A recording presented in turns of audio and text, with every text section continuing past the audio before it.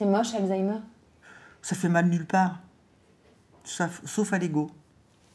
En fait, c'était c'est une maladie, euh, c'est une maladie, euh, comment on appelle ça, intellectuelle.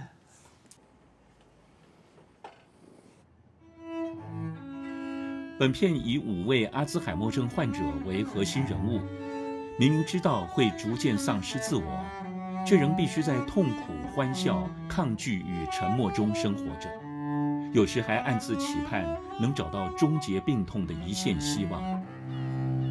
面对病症带给患者的痛苦及纷乱历程，他们该如何生活呢？当我们看到至亲失去自我并遗忘我们时，该如何继续与他们保持联系呢？周四晚间十点，记录观点，陪你到最后。阿兹海默的旅程，就在公共电视。